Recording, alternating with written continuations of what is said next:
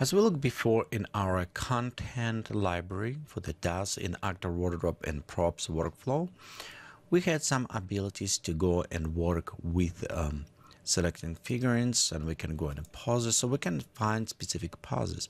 However, we have it much more uh, defined in the library if we go directly work with the poses itself inside the workflow. So let's go switch on this, pause and animate.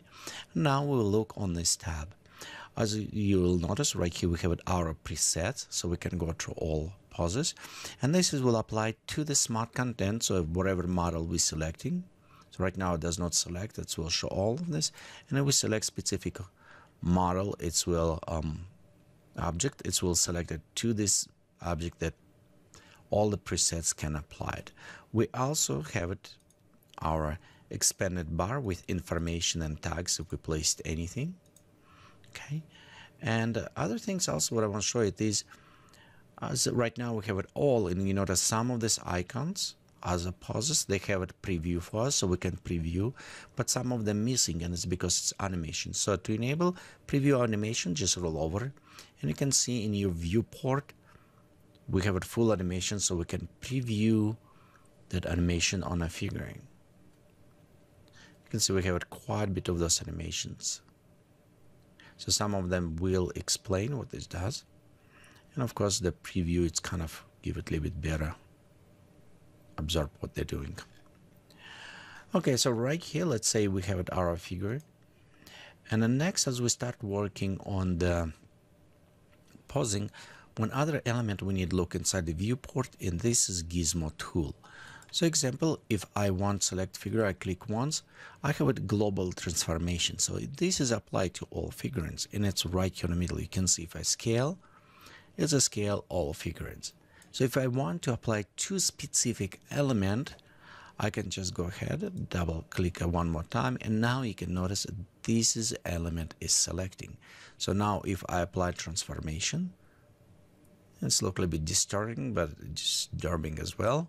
But you can see it will apply just to this element. So we have it rotation and we have it also translation.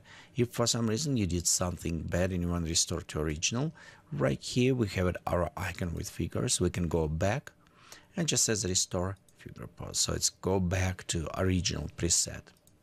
As well, you'll notice right here we have it limits on and limits off.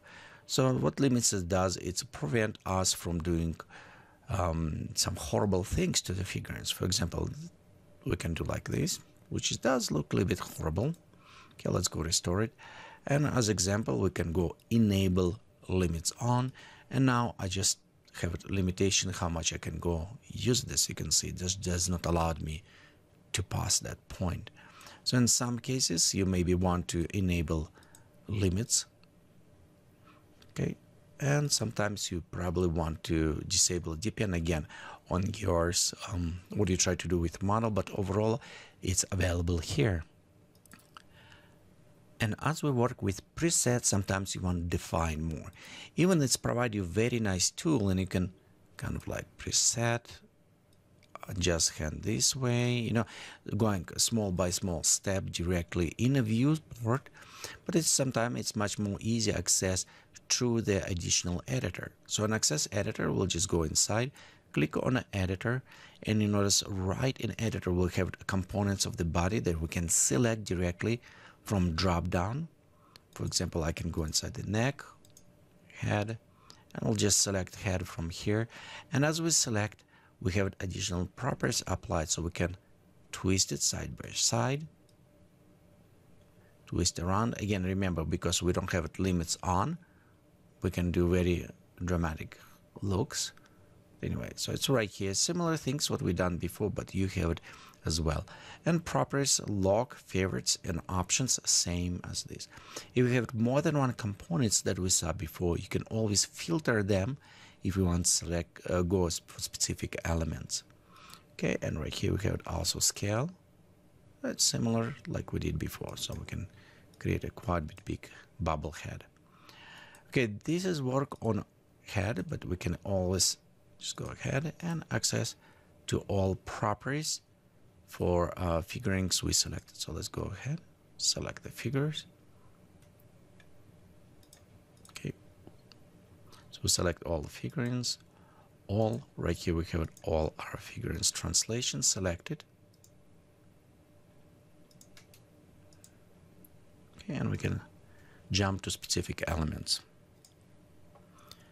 Okay, as we work with the figurines, sometimes we needed kind of fast access. And remember we looked before, so we can go to edit figure and access like logs or limits set here. But it's have a faster way, same as we access our viewports from this right kind of menu navigation drop down. We have it also options additional for this panel. And this is option is changed on active panel. So for example on a wardrobe you can see it's got content close but on a pause and animation so a little bit more properties allowed to us. So we have uh, properties to copy figure paste if we have some pause we can add memorize figures so we can recall after restore zero out clear if we have any animations.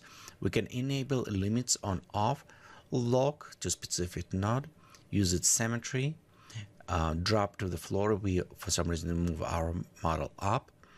Just showing hidden properties. You remember like before if we hide some property what we did before this menu as example right here let's go to say scale. And like I hide the scale so no way I can access. So through this menu I can go to my show hidden properties so show all of them even we don't see this. And right here I can go to my scale unhide and now it will show me. So again right here we have it show hidden elements.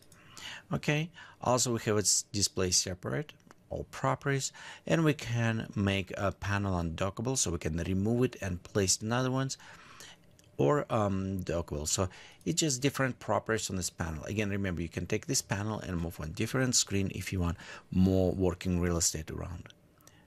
Um, again go ahead try play around with this twist change some properties see which one um, how they work Okay, I'm sure you probably will create quite a bit disturbing looks with the figurines, but this is part of this to have fun.